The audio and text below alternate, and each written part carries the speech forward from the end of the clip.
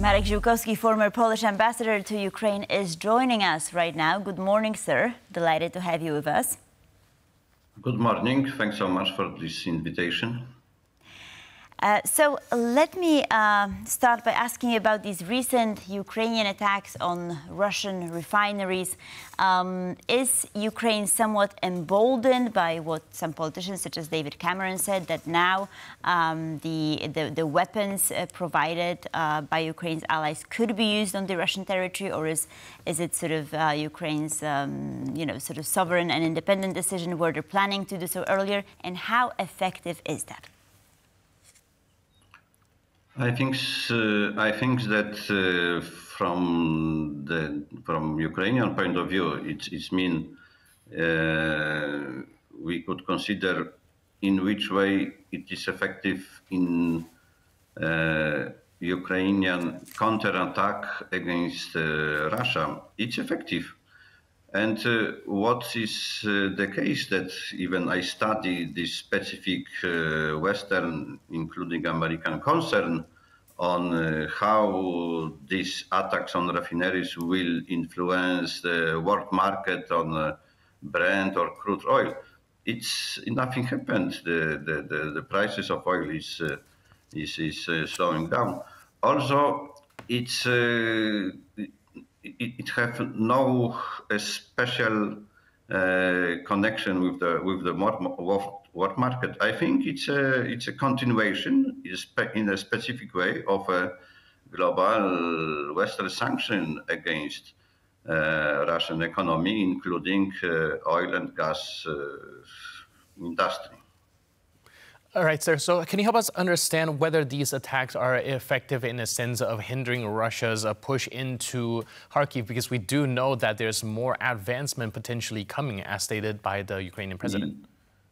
Yeah, thanks so much. It's uh, of course it's, it's, it's connected for maybe in in not in the direct way because it's the, the, this war we are now in this specific stage of the war of uh, attrition, and it's like Clausewitz formula. Also, we should remind that we, now we say that still it's, it's foggy, uh, foggy planning, foggy situation. Also, maybe it's not connected directly with this uh, Russian attack on the Kharkiv region, but the war of, of attrition have this uh, really specific that uh, every day we could, and Ukrainians could, uh, it, it's unlikely, of course, could expect uh, attacks from every corner of uh, Russian Ukrainian border. And uh, it's only from Russian side the continuation of their specific philosophy. The more Ukrainian land they kept, uh, they could kept uh, by military means, not a peace negotiation that could be close in Russian mentality, in Russian planning, uh, close to the to the winning this war.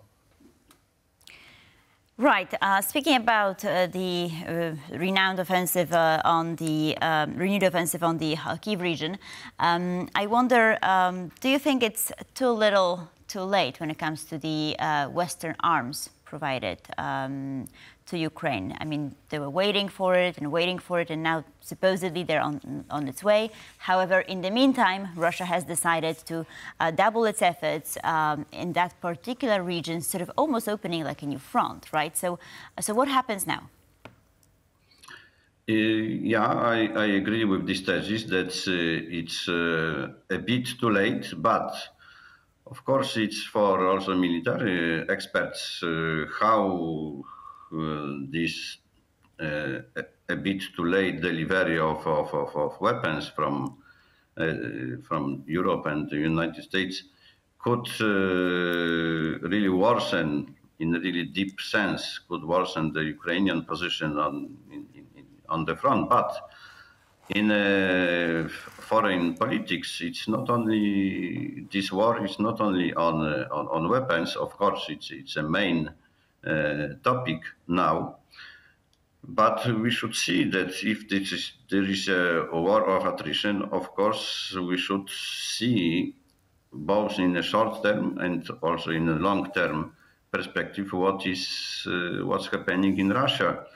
the, practically or theoretically, we see that the, the, this the slightly successes of uh, of Russia in this Russian-Ukrainian front. But Russia, as we saw a few months ago, is an unfunctional state with uh, disrupted economy. The economy is producing only the products for war waging by, by Putin.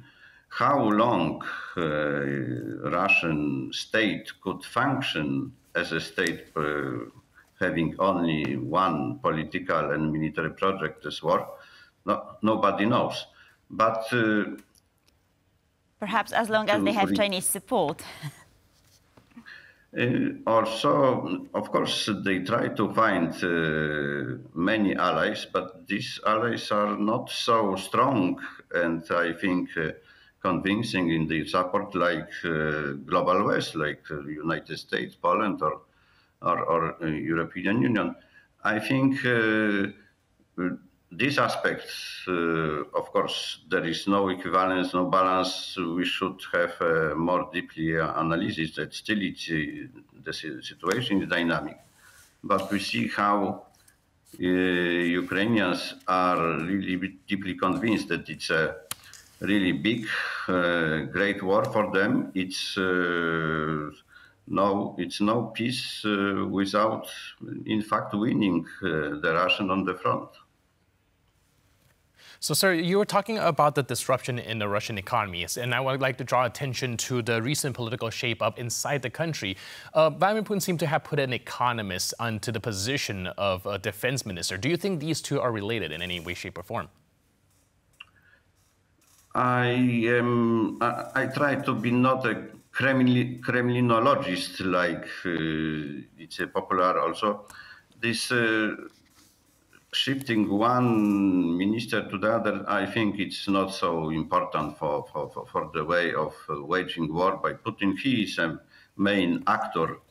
Uh, the, the others is only second range uh, politicians even in Russia.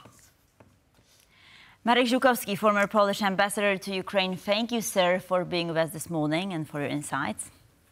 Really appreciate Thanks it, so sir. much.